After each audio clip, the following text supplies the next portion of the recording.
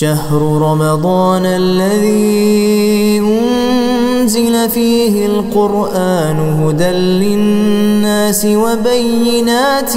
من الهدى والفرقان فمن شهد منكم الشهر فليصم ومن كان مريضا أو على سفر فعدة من أيام أخر يريد الله بكم اليسر ولا يريد بكم العسر ولتكملوا العدة ولتكبروا الله ولتكبروا الله هداكم ولعلكم تشكرون